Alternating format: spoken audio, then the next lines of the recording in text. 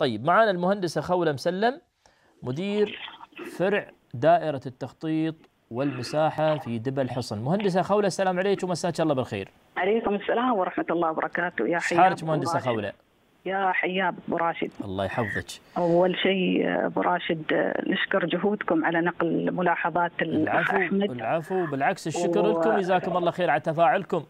الله يطول بعمرك. الله وطبعا أنا سمعت شكوى الأخ أحمد. أو شكاوات ثلاثة.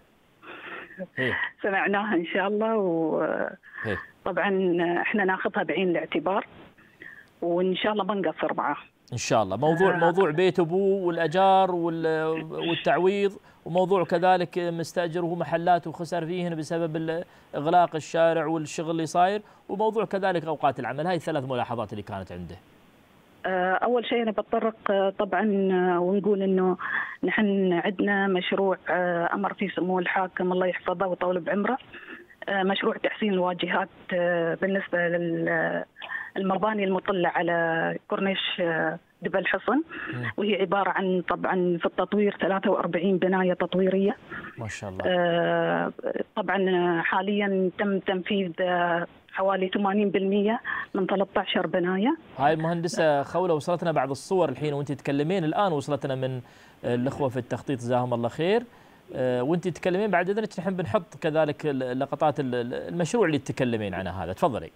في اللي هي 13 بناية تطويرية. طبعا فيها 80% نسبة الانجاز نقدر نقول. ما شاء الله ما شاء الله. آه، وعندنا كذلك آه، حوالي بنسبة آه، تتراوح من 20 إلى 40% في الجزء الثاني اللي هي راح تكون حوالي 30 بناية. آه، ندخل في موضوع الأخ أحمد. عنده طبعا ثلاث مواضيع. اولا بخصوص السكن الخاص بوالده.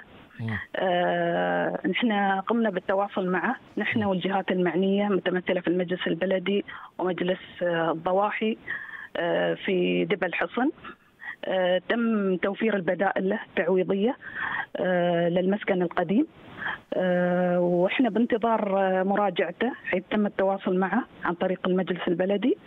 ونتريى مراجعته لنا على أساس إن إحنا نحط الخيرة بين البدائل اللي موجودة عندنا هذا فيما يتعلق بالبيت بيت والده بالبيت أيوه إيه إيه إيه. ال- فالحين الحين الحين أنتم طالبتوا انه هو يمر عليكم من خلال المجلس البلدي لكن الظاهر ما وصل الموضوع ولا شيء فالحين تطالبون انه يمر عليكم حتى تحلون الإشكالية نحسم هاي. الموضوع كامل ونخلص معاه موضوع. التعويض طبعا إحنا ممتاز. بدائلنا موجودة سواء كان حسب رغبته وين ما يحب يكون ال- التعويض سواء البدائل قصدك تعويضات يعني أيوه. بدال التعويضات موجودة عندنا وبس يراجعنا في المكتب وإن شاء الله فعله طيب بنخلص له الموضوع المكتب عندكم. هناك في دبأ. في دبأ الحصن ممتاز ممتاز ممتاز. طيب هذا بشأن البيت. الموضوع الثاني بخصوص المحلات اللي هو مأجرنها نعم.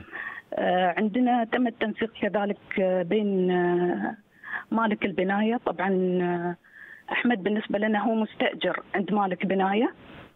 فإحنا تم التواصل مع مالك البناية على أساس أن نحدد له وين آه، الموقع المناسب للمدخنة اللي تأثرت عنده في مشروعنا حلو.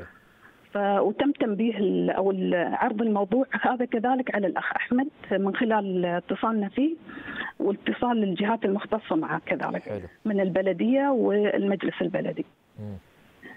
ال- الموضوع الثالث فبالتالي, فبالتالي أنتم تعاملكم آه، مع مالك مع- البناية مالك البناية وليس المستأجر. لكن في الحالة هاي المستأجر مهندسة خولة بعد تأثر يمكن على اعتبار إنه هو صاحب ال- صاحب المشروع التجاري يعني إحنا الكلام هذا وجهناه كذلك لمالك البناية إنه ينظر بطلبات الأخ أحمد وينقلها عن طريقه هو لنا إحنا.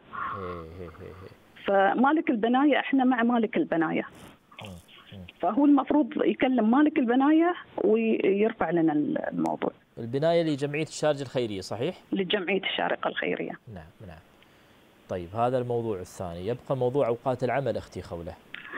أوقات العمل آه، إحنا طبعا في البداية كانت آه، أوقات العمل بالنسبة لنا م- مفتوحة. لكن في الأوقات الأخيرة إحنا حددنا للمقاول فعليا عنده أوقات يبدأ فيها العمل من الساعة السادسة يقول أربع الفجر الحين الأذان بعد ما أذن أربع الفجر. آه، طبعا أخوي إحنا منبهين على المقاول أن مراعاة الناس في الأوقات هذه إيه. وتم تنبيه المقاول من قبلنا ومن قبل كذلك. جزاهم الله خير شرطة دبا الحصن آه، بدء الأعمال من الساعة السادسة إلى الساعة التاسعة مساء. على أساس إنه إيقاف الأعمال. وبلغنا كذلك آه، بلدية دبا الحصن مشكوره في الموضوع هذا وإحنا إن شاء الله متابعين مع المقاول. وراح نشوف المقاول إن شاء الله بالإجراءات، كذلك تم تنبيهه بالأمس المقاول بالموضوع هذا، يعني الشكوى هذه وصلت لنا وتم تنبيه المقاول فيها. جزاكم الله خير، طيب إذا ألخص الحين الموضوعات هذا هاي المسألة كلها متعلقة بمشروع. أشوف الصور لو سمحت أخ تحسين واجهات. تحسين واجهات دبا واللي الحين نحن ياسين نشوفها على الهواء مباشرة آه، بنايات غاية في الجمال، غاية في الروعة، آه، ألوانها مبهجة في الحقيقة، أشكالها مبهجة. آه، هذه ستضفي جماليات كبيرة جدا على دبل الحصن، على الزائرين وعلى حتى المقيمين وحتى أصحاب البلد. لا شك أن مثل هذه المشاريع أثرت على بعض بعض العقارات القائمة أكيد. من بينها بيت والد الأخ أحمد بن راشد. وأنتم تقولون انه يتابعكم حتى تشوفون التعويض المناسب وتتفقون معه على التعويض المناسب. هذا الموضوع الأول. الموضوع الثاني موضوع آه، العلاقة بينكم وبين المالك مباشرة وليس المستأجر فيما يتعلق ببعض التحسينات المطلوبة في العقار اللي هم أجرنه من عند جمعية الشارجة الخيرية. وبعد نحن نقول إذا قدرتوا جزاكم الله خير تساعدونا على اعتبار أنه يمكن يكون تأثر يمكن يكون كذا يعني أنتم ما بتقصرون جزاكم الله خير في الموضوع إن شاء الله إن شاء الله. الموضوع الأخير أوقات العمل فانتم راعيتوا المسألة هاي وصلتكم الملاحظة وإن شاء الله راعيتوا المسألة هذه وبتحاولون أن كذلك تبعدون الإزعاج عن الساكنين في في المنطقة آه وتراعون كذلك أوقات راحتهم. جزاكم الله خير. خير الله يخليك. ما قصرتي أختي ما قصرتي. بارك الله فيك. جزيل الشكر المهندسه خوله مسلم. شكرا لكم أنتم على تعاونكم. بالعكس أنتم اللي مشكورين. جزاكم الله خير. المهندسه خوله مسلم مدير فرع دائرة التخطيط والمساحة في دبا الحصن.